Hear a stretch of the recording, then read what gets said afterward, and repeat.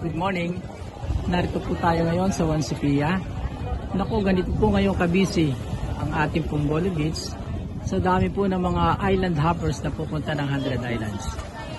Nakakatuwa po na pagkatapos ng sinasabi nating pandemya, ito po at bumabalik na sa normal ang ating turismo sa Alamino City.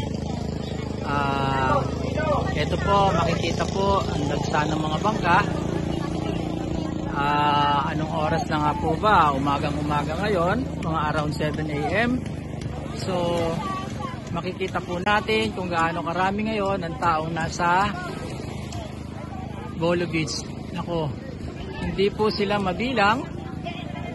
At eto nga po pala.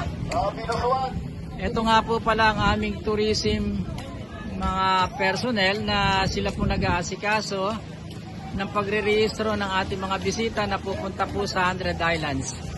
Ah, Ma'am, pwede po. Magandang umaga. Salamat po sa pagpunta nyo rito sa amin sa Alamino City para po pumunta sa 100 Islands. Salamat po. Ma'am Bilen, thank you. Sa inyo, thank you. Ah, makikita po natin dito po nag dito po sila ini-schedule ng mga bangka para po makapunta sa 100 Islands. Wow, ito po talaga ang kabuuan ngayon ng Polo Beach.